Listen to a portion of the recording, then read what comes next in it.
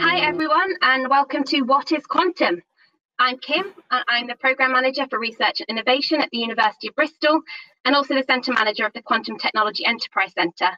We're absolutely thrilled that you can join us today, which is the first of our quantum sessions at the Bristol Technology Festival this week. We've got a jam-packed session for you today, starting with an introduction to quantum technologies from our guest speakers, Dr. Ewan Allen, who's a research fellow at the University of Bristol, and Dr. Araceli Venegas Gomez, who's the founder of Qureca. After this session, we'll be finding out more about Bristol's quantum ecosystem from Professor Noah Linden and from some of the Bristol-based quantum technology startups themselves. Afterwards, we'll hold a panel session discussing the difficulties of commercializing quantum technologies before our final networking session in the social lounge. So we really want this event to be as interactive as possible, so you can react throughout the session by sending us a thumbs up or a smiley face by clicking on the emoji button at the bottom of the screen. Or if you have a question, you can pop it in the chat box on the right-hand side bar. Or during the Q&A, we'll be inviting some of our audience to the stage to ask their question live. You can get involved in this session by clicking the raise the hand button later on during the Q&A sessions. Without further ado, I'm pleased to introduce you to Dr. Ewan Allen, who will kick off the session by telling us what is quantum. Thank you, Kim. Uh, thank you, everybody, for, for coming along today. Um, as Kim said, yeah, I'm, I'm Ewan Allen. I'm a researcher uh, at the University of Bristol in the Quantum Engineering Technology Labs. Um, and I'm going to try and answer today what is quantum uh, with the help of Araceli. Um, and um, yeah, initially going to talk about the kind of science and the technology, maybe a bit more, and Araceli maybe will focus on the industry aspects of it. Um, also, just for complete transparency, I, I also work with for um, this company Silaton, who who will be uh, pitching later. So yeah, I've got my feet in in two com- in two companies today, but I'm teaching about quantum science, so it's mostly the University of Bristol, my role there. So here's the team uh, that I work with. Uh, this is the, the General Keck Labs. This is part of a wider quantum research effort in Bristol in the Quantum Institute, which Noah will discuss later. This is mostly uh, hardware based research. So we're mostly doing experiments. We're based generally in the physics building, which is this beautiful building um, at the top of the hill in Bristol. And we do optics mostly, which I'll discuss later, but we have experiments that mostly look like this or, or there, there and thereabouts. So we're about a group of 100 people, 100 researchers, uh, all, all focused towards quantum technology and engineering challenges that come with that. So what will I discuss today? We're going to tackle the what is quantum question very briefly. Uh, I'll then talk through maybe a bit of history uh, and some uh, some labeling that is given to quantum technologies, this quantum 1.0 and quantum 2.0 discussion to maybe give you an idea of where we're at at the moment and why there's perhaps the hype behind quantum that there is. I'll then briefly mention some quantum technologies that there are. I'll try and give you uh, five minutes of quantum photonics if I have time, uh, and then just mention some other quantum platforms that people are using for to build quantum technologies as well. So that's that's the outline that we'll go through. So the big question of today uh, and of this session really is is what is quantum? Um, if I was being totally honest, the answer would be that I don't really know. It's a pretty hard hard thing to answer, and there's lots of different answers you could give. Um, I'm going to try and give what I think might be uh, one way to go, but I'm sure there's lots of people that would maybe have a different definition. So, um, yeah, it's it's difficult. So one way you could do it is you could look up. So this is from uh, the European Quantum Technologies Roadmap. This is a publicly available uh, piece of literature that kind of outlines the European focus of quantum research. And you can look at a word map of what that document contains. Obviously, it contains things like quantum systems, and often we compare with these things called classical systems, which is you know, systems that don't have access to quantum features. Um, a big part of the research effort is control. So I'll show you what this kind of means later. Um, and we have applications, so things like simulation and computing. And somewhere there's, there we go, communication is at the top here. Um, so all these applications and qubits we'll also discuss later and things like entanglement. So you've seen lots of quantum words, um, but also some classical ones as well. Some, some words you'll be familiar with, things like control, challenges, you know, algorithms. So it's kind of uh, it's not always just quantum stuff that comes up comes up in these things. Um, maybe to give a bit more context, I'll just give you a, a laser, uh, sorry, lightning quick uh, summary of the history of quantum. So, quantum kind of first appeared right, you know, 100 years ago, um, where uh, the foundations of quantum theory and quantum mechanics kind of came out as a scientific theory of physics, theory of physics, uh, led by lots of uh, lots of people, lots of who went to this famous con- conference, this uh, Solvay conference in 1912, um, led to things and theoretical and experimental descriptions of things like the photoelectric effect, so the thing that Einstein won his Nobel Prize for, um, quantized energy levels in, in things like atoms. Uh, so the idea that you can have discrete energy levels, whereas um, rather than a continuous spectrum, which was what was believed prior to quantum theory, maybe some familiar concepts. So Schrodinger's equation or Schrodinger's cat, these were where these ideas were developed in the Heisenberg uncertainty principle. It led to lots of uh, Nobel Prizes, uh, lots of kind of really fundamental scientific theories. Uh, was all kind of developed around this time up to the 30s, but also later on as well. So this was kind of where the, the real scientific theory was developed. And that led to, um, you know, about it took, it took a while, but it led to some really kind of groundbreaking tools being developed from this theory. Things that use this quant- idea of quantized energy levels, the idea that energy comes in discrete packets. Kind of the most famous is probably the laser and, and light emitting diodes, of which I think all of us, even maybe even today, have used one of these two things. Um, and yeah, this is an early development of a laser. This is a CO2 laser. They don't look like this anymore. Um, I wish they did because they look very cool. But um, yeah, so we saw from from the foundational quantum mechanics, this kind of understanding of the theory, we actually were able to build some useful tools, which are now completely widespread and, and, and you know across many industries uh, and applications. Maybe the next step you might look at is kind of um, a slightly more kind of theoretical work in in quantum, maybe looking at some of the finer features, more exotic features. So this was in, in the 60s, we had something called Bell's theorem by, by John Bell, this, uh, this guy from Northern Ireland who, who um, developed a theory that, that, was really just showing that quantum mechanics was something different, uh, I guess, from so Einstein proposed this idea that maybe we just don't really understand quantum mechanics, and if we did, it wouldn't it wouldn't be that much different from what we knew before. Um, but he he showed there's a way that we can test for this and show that quantum really is uh, more than just a lack of our understanding of of the universe. Um, and that took you know 20 years really to actually experimentally show that you can do this test that Bell developed.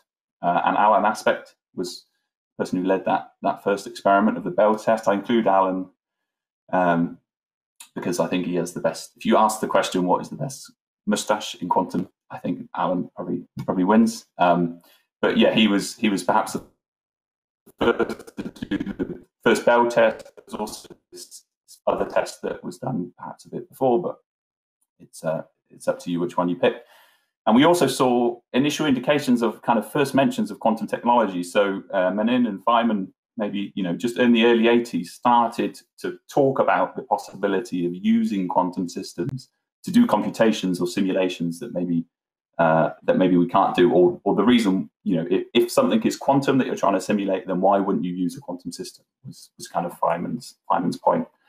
Um, and so we kind of just start to see this early development of the ideas that maybe quantum is is a bit more than what we think of uh, maybe prior to prior to this era. We then saw some big quantum technology steps in terms of the theory. Um, so we saw, and again, sorry, I should emphasize this is a very yeah high level I'm missing lots of stuff out, but I think it gives you an idea of where we're at. Um, we saw, yeah, the first quantum key distribution protocol proposed in 84. So uh, this is the idea that you can uh, use quantum states to actually send information and share a key between two parties securely. And you'd want to do this because then those two parties can communicate um, securely. And so the first pro- proposal of how to do that using quantum uh, was given in 84. And then uh, Peter Shor had had two pretty big contributions to, to quantum science. So this is first he introduced this prime, Shor's algorithm, so this prime factoring algorithm, uh, showing that a quantum computer can efficiently compute the prime factors of a number. Uh, and this was uh, pretty groundbreaking because it showed kind of rigorously that um, quantum computing can take a, a, problem which is known to be difficult to solve on a classical computer and can solve it in, a, in a, an efficient manner. Um, and so it was the first insight that actually quantum computers may be able to tackle some of the big problems that we have in, in computing more generally. And then the year after, he showed that actually um, you can do also do quantum error correction. So this is the idea that um, if you have bits in a computer, in your you know your classical laptop, your normal laptop, then often those bits uh, can have some errors to them. So they're not quite they won't quite stay in the states that you want them to stay in. Um, and so you need to do some correction to those errors. In quantum, that's a bit more difficult. And for a long time, people weren't sure that you could do it. Uh, Peter Shor showed you code. And therefore, uh, it kind of paved the way uh, theoretically to show that you, you can build larger and larger quantum systems and you can correct errors that happen in them, which means you can do bigger and bigger computations. So you kind of showed showed the way forward in terms of uh, of building these these systems, and at least uh, hinted that it might be possible to build them. And so those big developments in theory were kind of led by big steps in experiments. So over the last 20 years, we've seen a whole range of qubit platforms, quantum systems, quantum platforms emerge. We've seen superconducting qubits, which I'll mention briefly later. We saw so at the uh, at LIGO, this uh, gravitational wave observe, uh, uh, gravitational wave observatory, where you know recently we saw observations of gravitational wave. They are now implementing quantum light within their interferometer because it improves their sensitivity. So it allows them to detect smaller signals, and actually that what that converts to for them is means the the area or the distance which they can observe uh, these big black hole mergers has increased. So by implementing and using quantum technology, they've improved their sensor. And we've had now, yeah, also satellite uh, QKD. So this is a communication between a ground station and a satellite using quantum states and doing this key sharing, which I, which was first mentioned in, in the 80s. So you've seen, yeah, rapid development of technology. Um, now huge, large scale experiments, both in LIGO, which is a so this gravitational wave observatory is four kilometers long in two directions, so it's huge, and satellite QKD. So there's been lots of progress, and I mean, I just I put Michelle Simmons here. So Michelle is a is a, a leader in, in silicon based quantum uh, bits, so a qubit qubit based systems, and uh, just to get an idea of the kind of importance that is seen in, in these quantum technologies now, she was uh, I, I think voted or or or, or, uh, or given the, the, the honor of Australian of the Year last year or the year before uh, for her work in, in quantum generating these quantum platforms. So it's really it's really starting to uh, to kick off in terms of uh, the kind of uh, interest in, in, quantum and the technology itself in particular. And then maybe lastly, just because it might be, if you've heard of one thing about quantum technology, it might be this result. It's the, uh, the Google quantum computing result, where for the first time they showed using this. So this is the Google Sycamore chip. It's a superconducting chip. Um, they showed for the first time that you can build a quantum computer that can outperform a classical computer um, for a very particular experiment. So they compared this chip with a supercomputer, uh, and for a very particular problem, this chip was able to, to perform the computation and compute the answer faster than the classical supercomputer. So it's a big milestone in, in quantum computing in particular.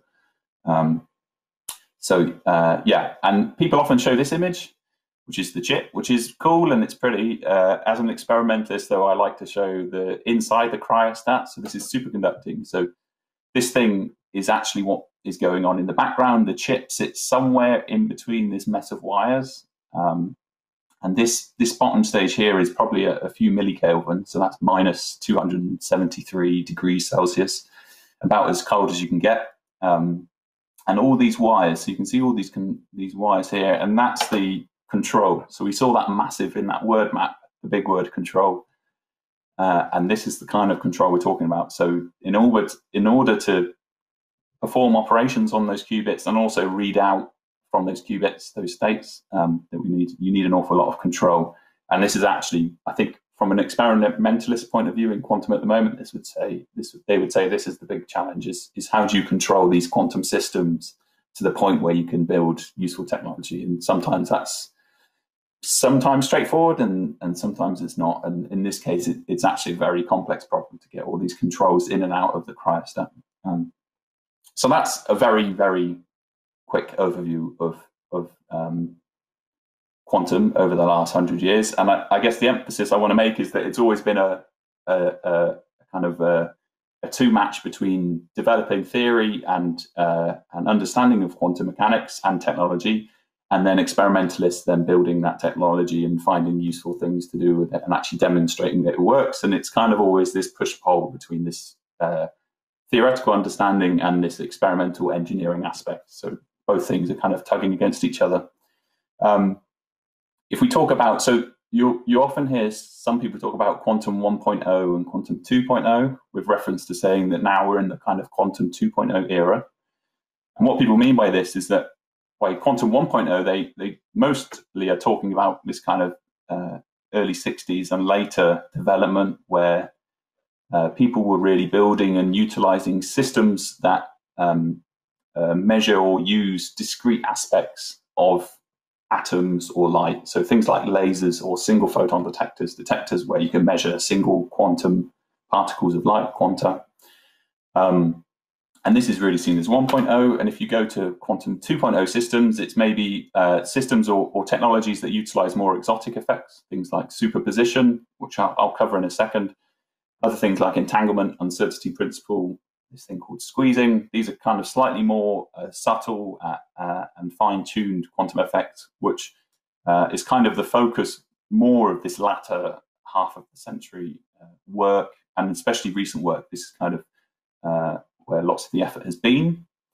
and so you'll see today companies, and you know around the world there'll be companies that kind of fit in this quantum 2.0 region, and also some some companies that fit in just this quantum 1.0 region, and and everything in between. And I guess my point with this slide is just to just to say that actually these things are kind of symbiotic. Um, they're they're kind of one and the same because they need each other. Really, I think uh, what we're finding is that uh, recent, you know, recent, even though the laser was out, you know, in the in the 60s, um, there's still lots of development happening in, in laser science and laser physics and laser engineering.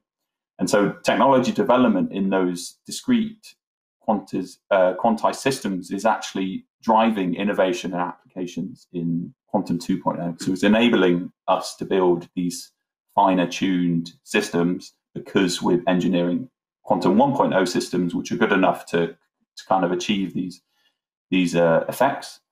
And similarly, actually, we're finding that uh, Quantum 2.0, so we're developing new applications, uh, and those applications, um, which were previously unknown, are, are, kind of desired enough that they're actually driving technology development in Quantum 1.0 systems. So we're seeing this kind of feedback effect where you find a good application, you then develop the system to actually perform that application, and then that develops, that allows you to do another application as well, and you get this kind of continuous feedback loop. So uh, this is why there's been, I think, some you know real rapid development of in the last 20 years in, in quantum technology in particular. So what do we mean by quantum technology? So I've already spoken about this briefly, but this is also quite focused towards Bristol's research, but I'm going to kind of upfront show my bias here. So uh, one thing you can do with quantum technology is you can do secure communications. That's through mostly two means. One is through this QKD, this quantum key distribution, and you'll see companies today discuss this.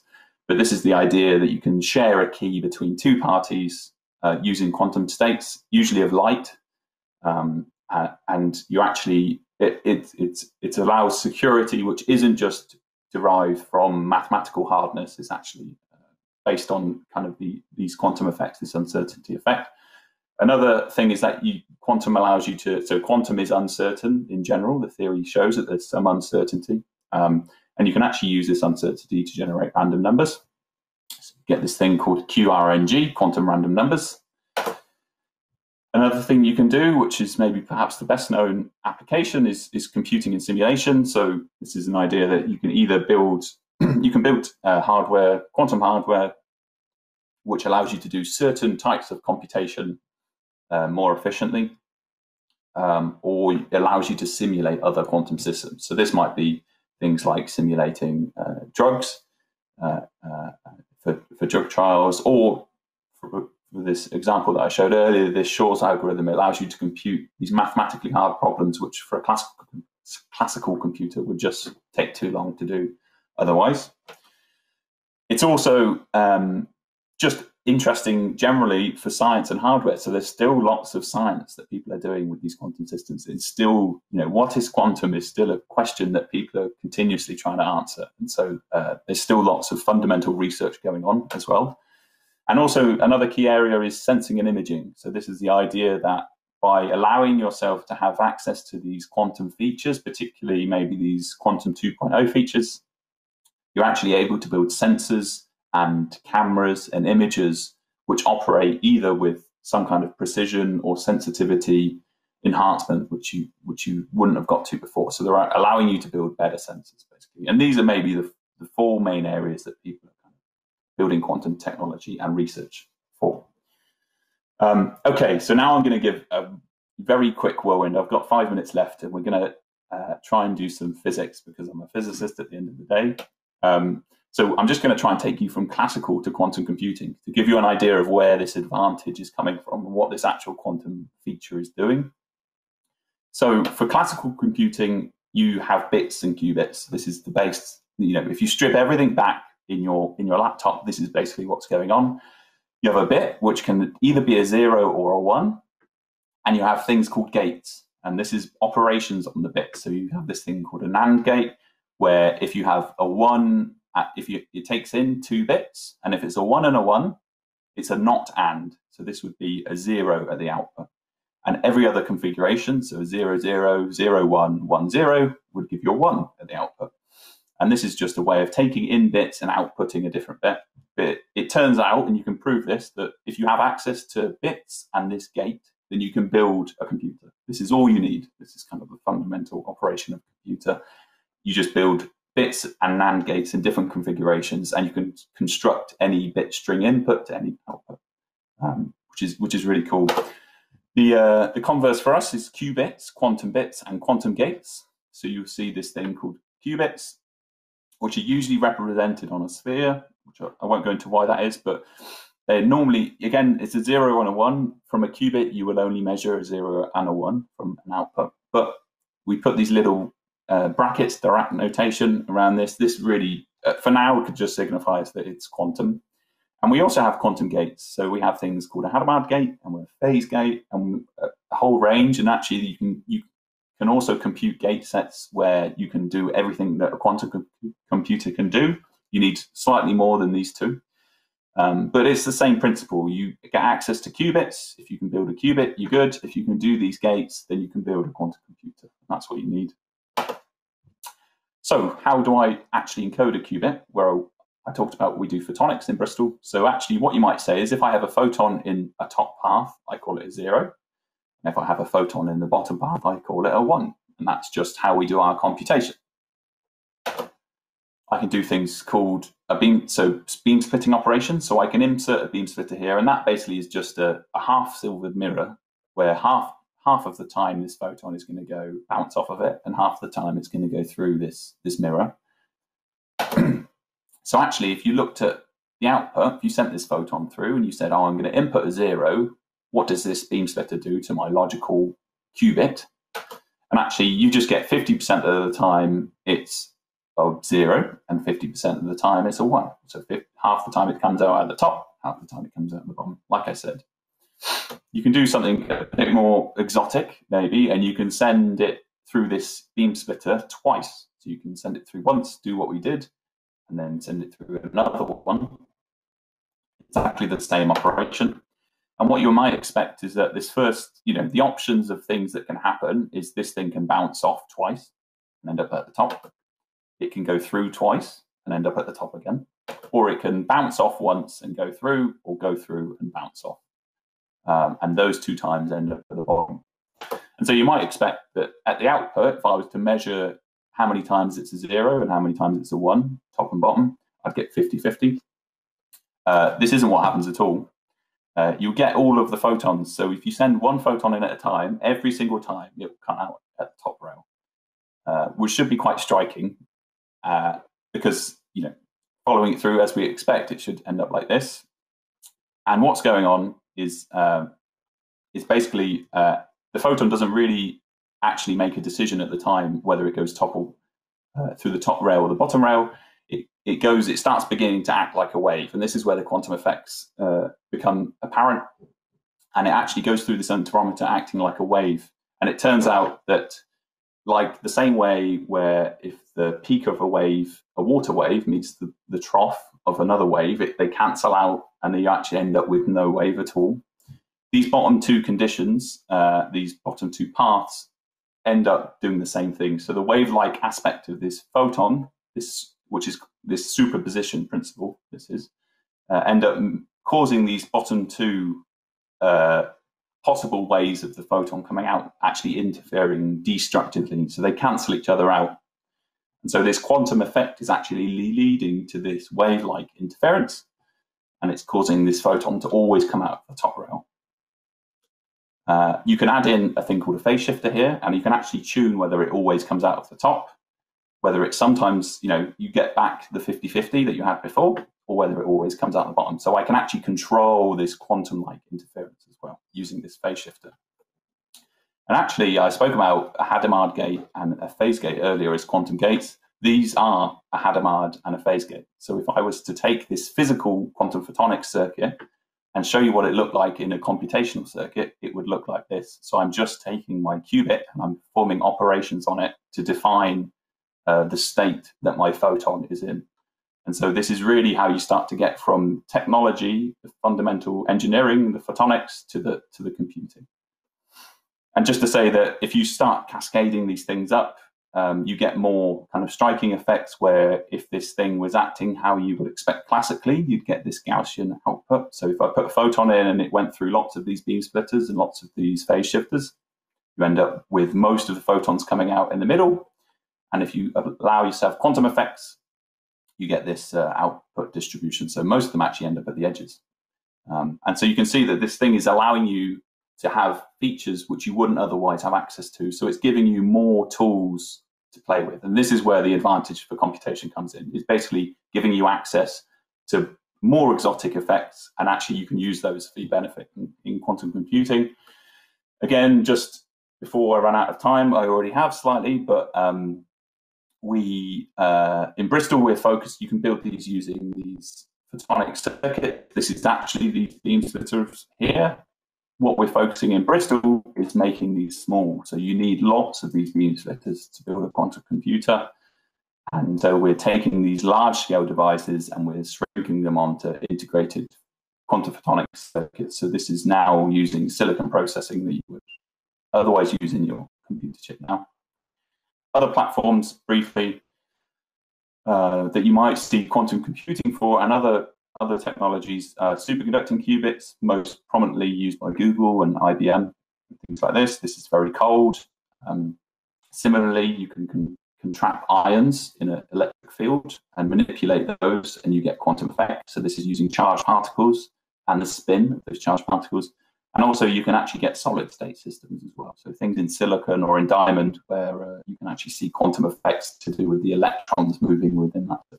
And these are all platforms that people are, are using. So maybe just some take-home thoughts for you today. Uh, quantum's been around for a while, but new applications are kind of just at or just past even the point of reaching industry. So it's quite an exciting time, I think, to, to be involved, and it's why the hype we're seeing is kind of coming around. Quantum offers new tools that can enhance a number of technologies. It's not always true, but it is often true. Um, an example use cases which I've come across is, is communications, computation, and sensing. And with that, I'd like to say thanks for listening. And uh, yeah, if you have any questions, uh, please feel free to contact me on any of these, these outputs. Thanks so much, Ewan. As Ewan mentioned, if you've got any questions, please do put them in the chat box. And um, we're going to get Araceli to load up her slides and she'll be doing the next section.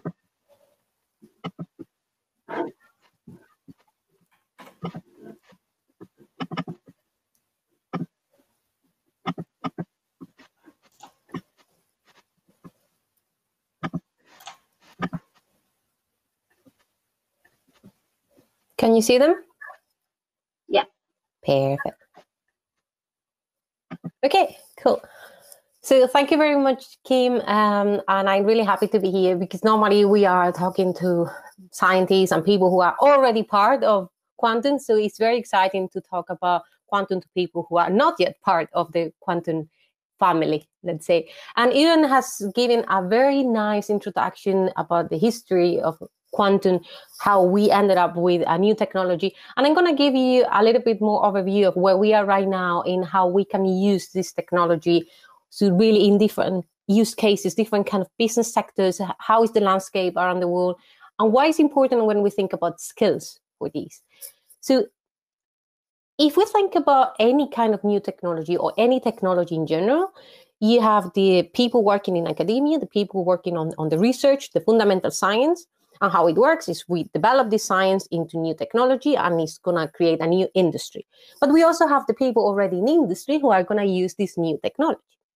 Now, if we also think about how all this is fun, we have the government and the funding agencies who are putting the money onto the research, onto the science. Then this science is going to be developed to create new technology. And then we have the general public, people perhaps like yourself who are interested in these and they want to know what it's all about. And sometimes the information that you get out there, let's say, is a little bit misleading. But so far, this is what you find for any kind of technology. So, what is different when we talk about quantum technologies? Well, as we have seen before, quantum is different. It's just based on different kind of phenomena. It's just it's just very cool. We know that, and I think this kind of weirdness, nerdiness, or kind of a different kind of words that we don't normally use is what is making that quantum technologies has this kind of fussiness about it and what people sometimes call the hype about about all that. But we know it. We know the the phenomena um Ian has give you a, an overview. We know that the, these fancy phenomena we know how to control them i'm not going to go into detail about this but just again why is quantum different because the phenomena at the quantum scale of matter at the tiny levels uh, when we think about atoms photons we have different kind of phenomena we have different kind of mathematics to work with that and that's what all that we use now is based on this kind of phenomena. But one important message here is that we already use quantum mechanics, quantum technology every day. Because over the last, I guess, 50 years or more, we have already developed, or people have developed technology that is based on quantum mechanics. We have we have transistors that are in all computers, in all your phones, and this is based on, on the um, on the quantum tunneling effect.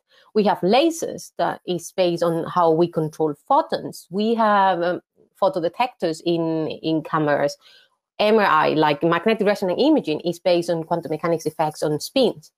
So, what is actually different when we are talking now about a new kind of technology that everybody is uh, is talking about new quantum technology? Is the fact that in the last decades, instead of having a bunch of atoms, a bunch of photons, now we really have this control at the single particle level, at the single atom, at the single photon. And this is really what is making this technology difference. And as Ewan said, we are entering in a new quantum revolution. That's this uh, quantum 2.0 that, that we heard about before.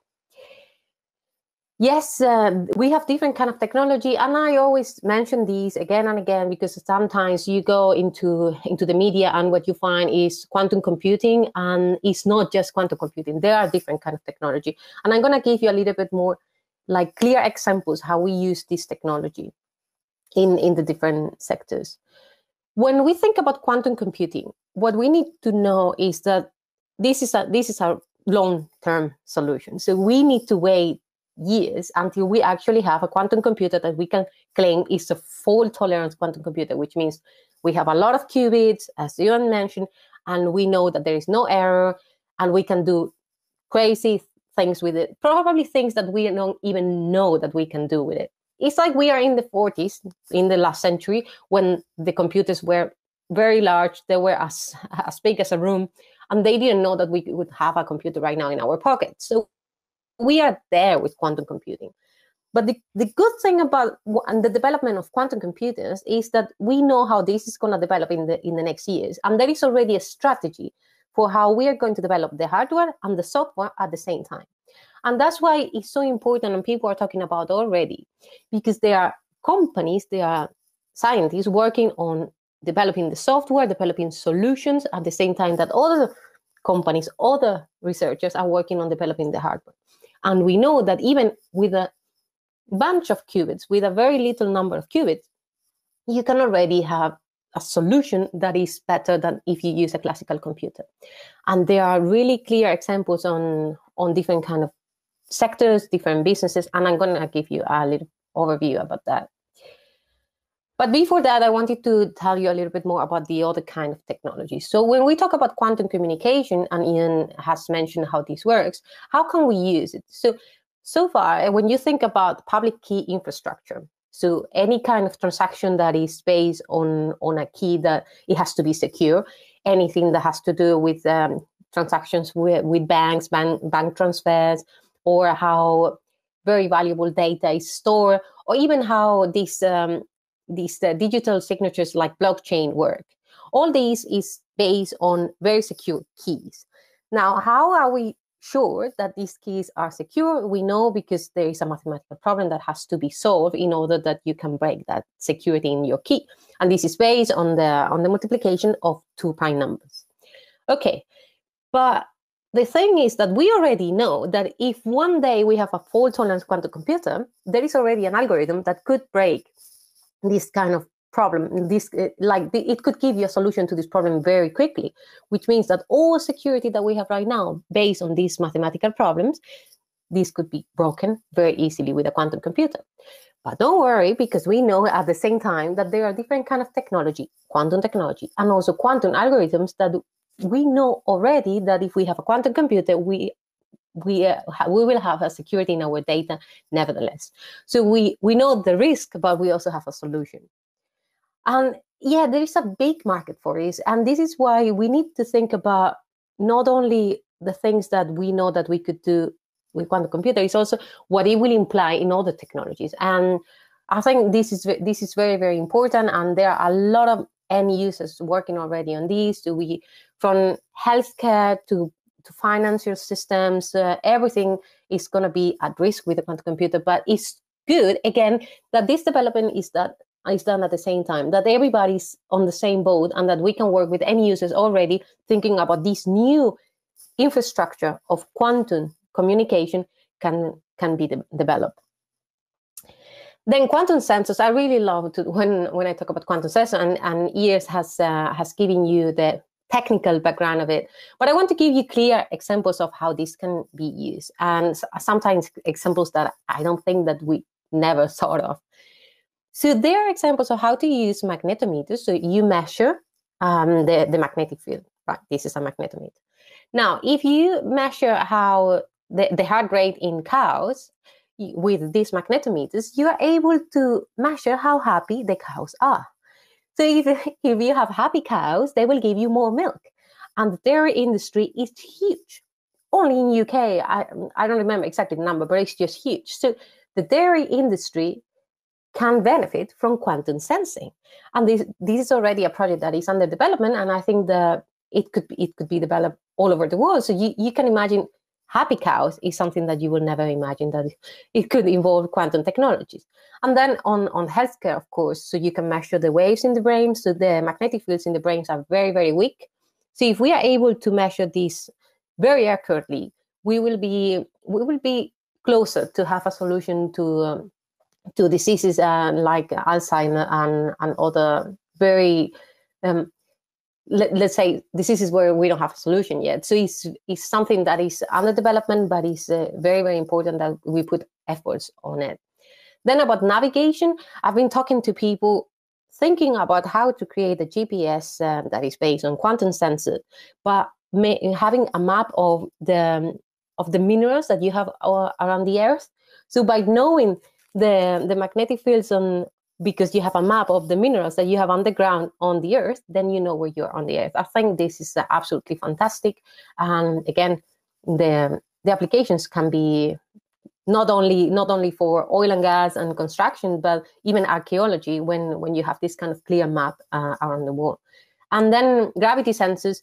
This is based on measuring differences on, on the gravitational field underground so again, for construction sites, instead of just making a hole and hope for the best, um, what you can be sure is that if you're building a new building, that you know that there is the right place to, to construct. Uh, and so, yeah, it's uh, it could involve so many different kind of businesses sectors, and we are there. We are in evolving the industry at the same time that we are building the technology. So yes, and everybody's aware about that. And UK was the first one to launch the a national quantum initiative in program uh, in 2013, 2014. That was the first phase. Now we're in the second phase, but then a lot of countries follow. Actually, Canada and Singapore they already created um, specific institution on on quantum research um, some years ago. But then as really national initiative. Then the quantum flagship in Europe was launched in 2018. The same year was the US National Quantum Initiative launch, and then uh, different countries have followed. So we have now in different countries in Europe, in Asia. So this is a global effort. This is here we are just talking about public funding. So on top of this, you have to imagine all the private funding, all the corporates that have been putting money on developing the technology. So this is really a very interesting ecosystem because it's global. It's again, I always I always like to say this: this is not a race between two countries. It's a, it's really a, a, community effort to to develop the technology, and let's see what happens in in the next years. And uh, we have tried to have the best uh, kind of map on on quantum companies, and this this really develops every week. It's like you really have to be up to date with with what is happening and here, just to be clear, we are talking about just quantum companies, so quantum startups. So I'm not talking about an end user like a bank or Airbus that are working on some specific uh, problems in quantum, or I'm not talking about a company that is big like Google. That of course they are they have a big big effort on on quantum, but they are not a quantum start, startup. So this is just about startups around the world.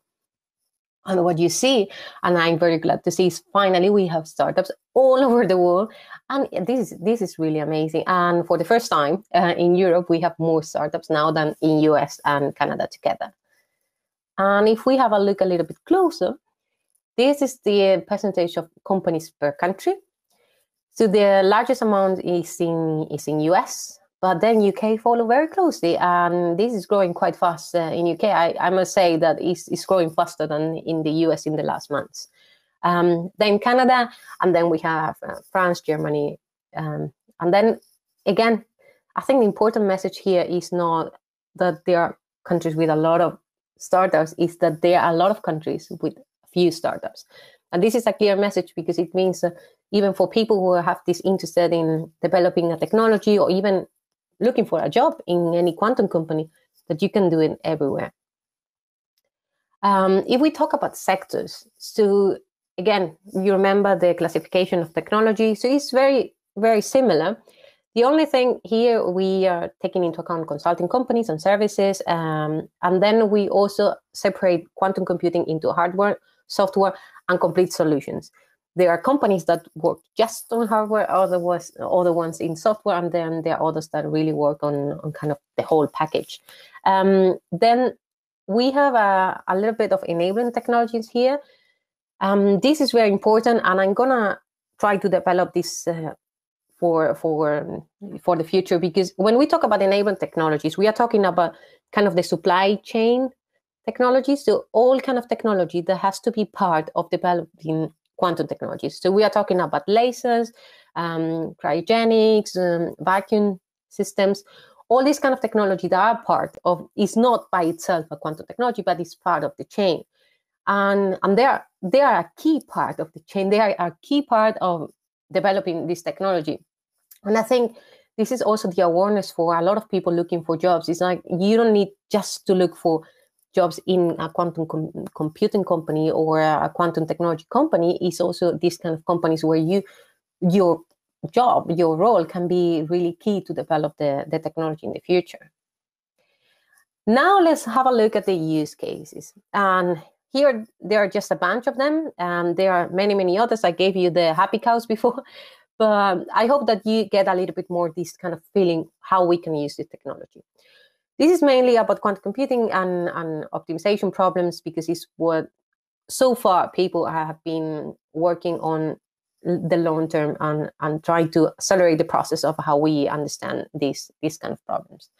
So on drug discovery, if we think about having a fault tolerant quantum computer that is able to attain very difficult problems, of course, if you need to make an optimization problem that is um, is is kind of a, like you are you are giving an overview of different parameters and if you can scan all the possibilities with these parameters in a very short time, this is the way that an optimization problems work. This is a way that it can be used in how to find the best drug, the best uh, vaccine, as uh, as we know that is very relevant right now. So this is something that several companies around the world are, are really focusing in. And the good thing is that they are working together with the end users, with big pharma companies to to understand how this can be used. So this is a very, very interesting field. Then in still manufacturing, so how can you optimize any kind of manufacturing process? And this is again a very interesting model because you can apply to almost any industry, any manufacturing industry that you can imagine. Like whatever you are going to make is how can you do the things faster? How can you do, reduce waste or any kind of toxic emission?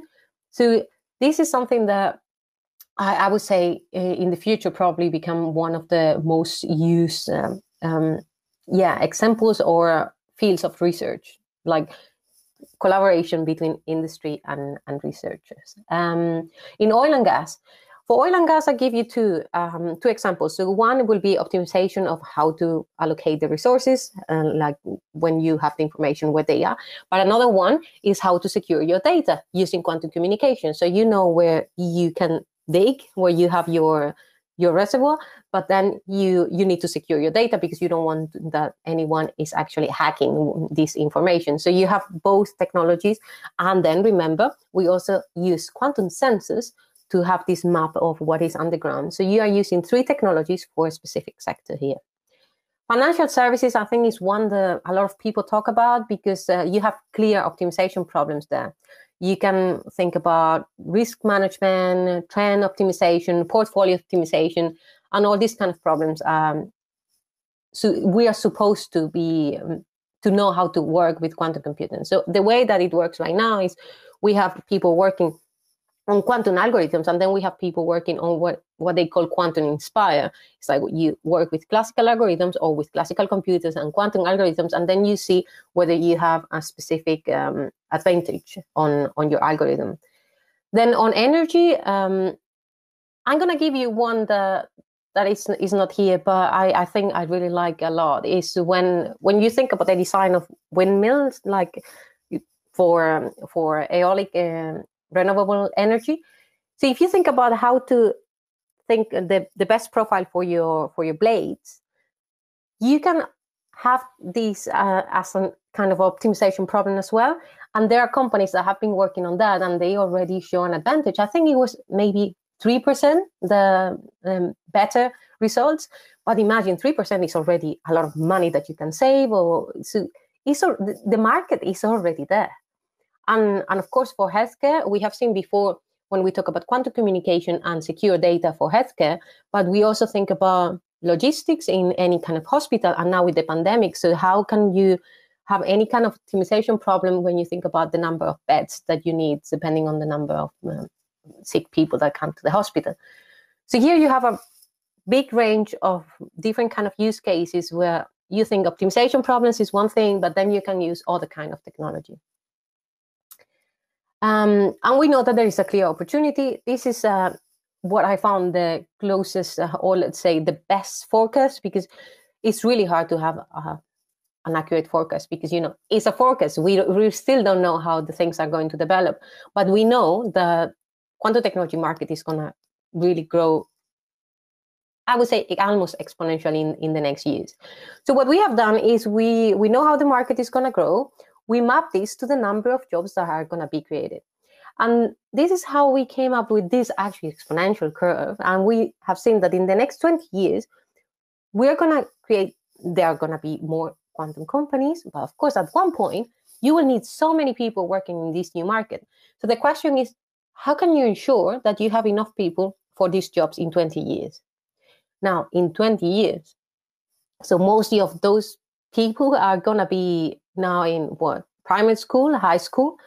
So we need to train now people at these levels. We need to bring the awareness, at least, about quantum technologies to mm, kind of outreach, public engagement, just just this kind of information about what we are doing. That when the time comes and we need these people in 20 years, we have these people ready. But then as I saw you before, we have a market that is growing every week. We have new quantum companies and they are hiring. So the question is, how can we be ensured that now we have the people ready for these jobs? And well, people are talking about this all over the place. I think like three years ago, people were talking about the public funding, and now the topic is really the, the quantum workforce. How can we ensure that we don't have any quantum bottleneck? and it's true I, I can see it i can tell you that there are so many companies trying to hire and there are not so many people with the right skills to be placed in these quantum jobs and you could wonder what are these companies because so far you have been uh, you have present, been presented with an overview of, of what is happening around the world but these are just some companies around the world not only hiring but um, for you that that you know who are the, the key players and different kind of technology and again, we are talking about more than 300 companies around the world working in quantum right now. So that's that's a very interesting ecosystem. Now, we talk about the different kind of technology, and then we talk about the different sectors. Now, a little bit different when we talk about the activities where if we classify the different companies. So we have sensing, we have communication, and in communication, I also want to mention that any kind of company that works in cybersecurity, for example, or post quantum encryption algorithms is going to be part of this quantum communication classification. Then, of course, we have quantum computing hardware, and then algorithms and applications, and then these facilitating technologies, as I told you before. And I give you this classification because it's very important when people think about what kind of companies uh, um, they could look for, where they could look for for a potential job. I think this is the best classification that comes out on, on the activities that the companies focus. So now a little bit about skills. And there has been several papers, and I, I have put here this um, this reference because it's, it's, really fresh. I think it was yesterday when I got the final DOI uh, of, of this paper, where we we try to put together all the information. So I, I'm happy for you to have a look at it. So the question here was really to ask companies what are the skills that you need and when you when you focus on the technical skills most of the skills that they actually mention they are engineering skills computer science math chemistry. So the question is is like do you really need a phd in quantum physics to be part of a quantum company? And that's the message because it's what a lot of people ask. In every career event in every career panel people always ask the same do i need a phd in quantum? The answer is no. But of course it always depends on on the company on on the role itself and i think this is going to change. In the next five years you will see more and more companies hiring people with a master's with, with a bachelor's.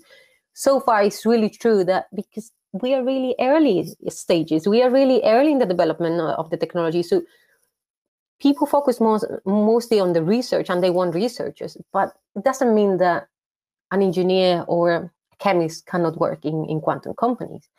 And, and the key thing here is that there will be a new role, and people are already talking about it, and it will be quantum engineering.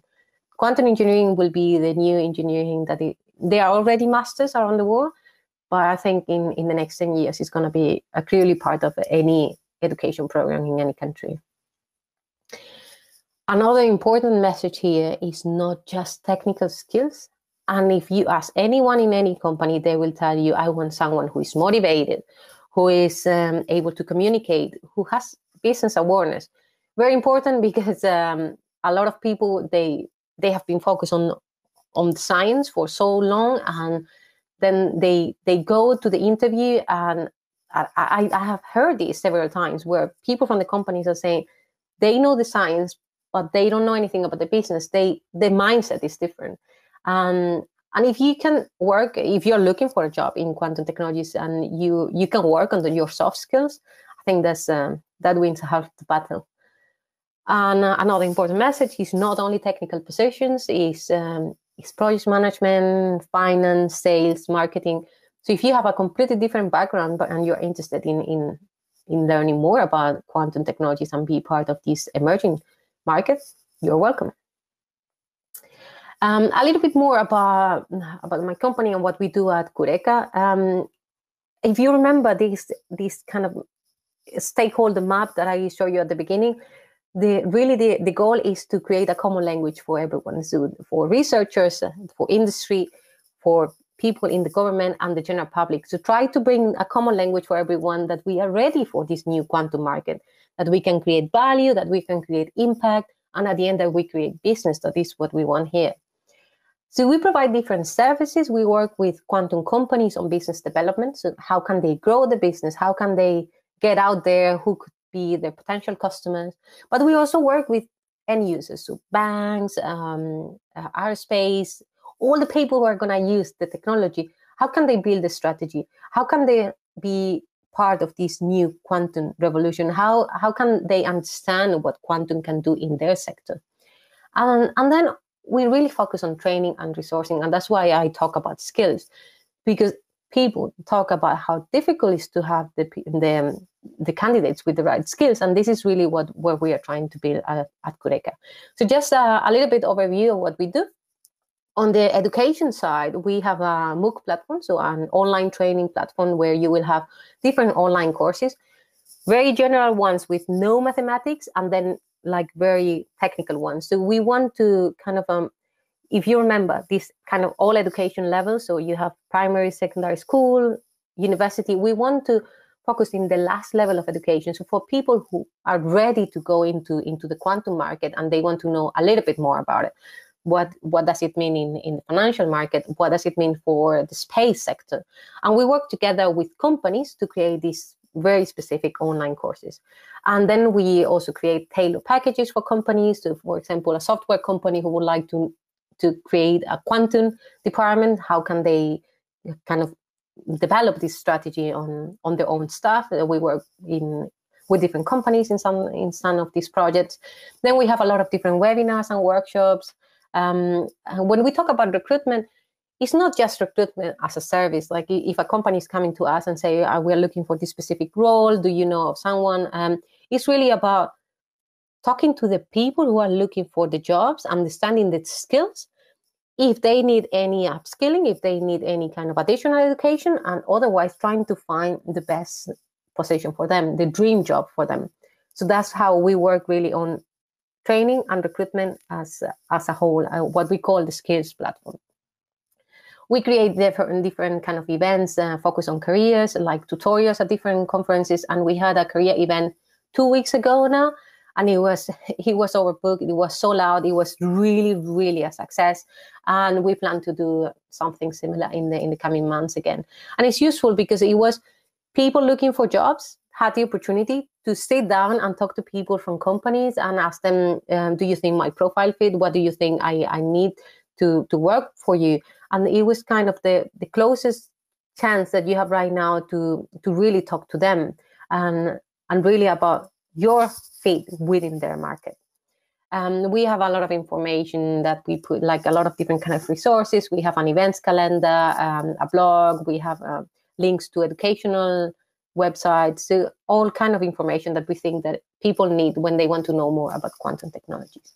And then we build kind of mm, different kind of communities. We focus on technology and on regions. So we are creating uh, education packages in different languages. So we want again to bring the people together. So yeah um, uh, again how, how we work is uh, on the training side we partner with companies to create the, the best content that is possible for different relevant for different kind of sector different kind of audience. And then on recruitment we work with both individuals looking for jobs and with companies looking for the best candidates. We create different kind of events and uh, yeah i think that's all. I just want to invite you to join the quantum revolution. Thank you very much Thank you so much, Araceli.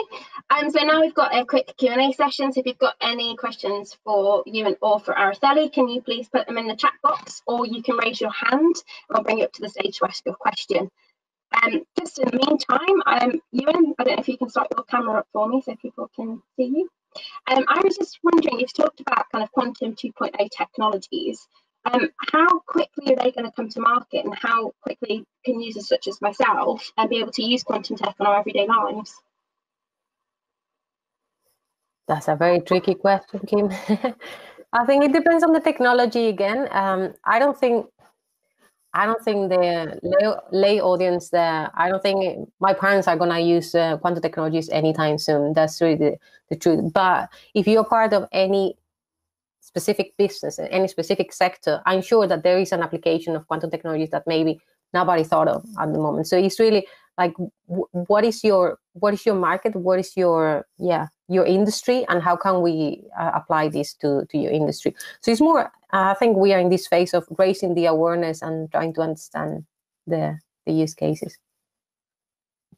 Okay, thank you. Um, last year we saw quite a lot about quantum supremacy. It seemed quite a contentious topic when it was released. Um, why why was there so much kind of contention between all of the quantum teams and what? Uh, maybe I can take this one. Um, so yeah, this was, I guess, alluding to IBM's rebuttal of of uh, Google's um, results. So you know, this uh, it's hard to see. You know, this this idea of when is a quantum computer better than a classical one is kind of it's not it's not that easy to define. Um, so the way Google did it is they just compared um, for one particular problem, they said, okay, we're going to perform that thing on a classical computer as best as we know, and then uh, and then we're going to do it on a quantum computer as best as we know, and we're just going to see how long it takes each of them. And I think they they uh, they showed that you know it would take the, the classical computer you know years and years to compute this problem, which the quantum computer does.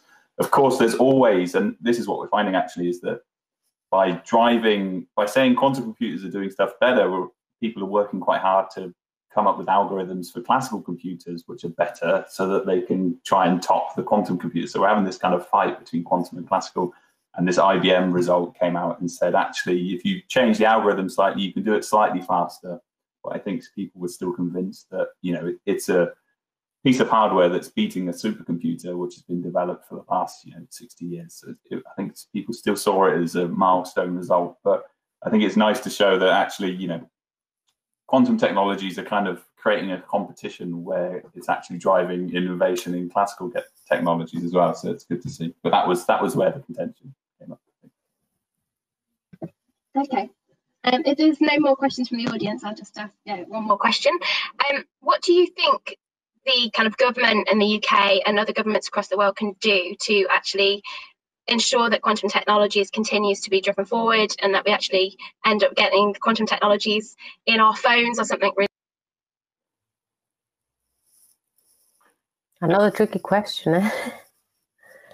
Go ahead. Oh, to... Well, I mean, maybe this is, I, I think, uh, which is, I think maybe uh, Q, most in QTEC would agree that actually the way, at least in the UK, the way innovation is spun out of uh, uh uh, universities at the moment is quite is quite challenging for lots of people. And I think I, I was really pleased to see from Araceli's side that we have a healthy startup culture in in um, in the UK for quantum, which I think has driven lots of you know lots of stuff in Bristol. I think Bristol is probably one of the key drivers of that metric.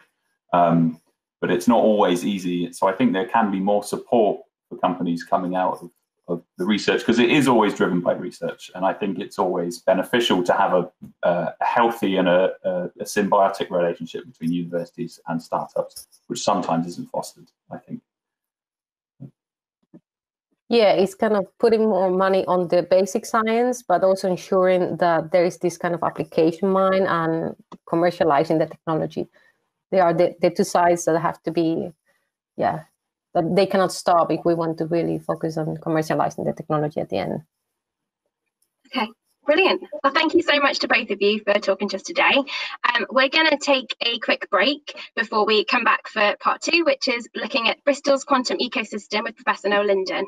So we'll see you back here in about five minutes. Thanks so much, everybody. Bye. Thank you.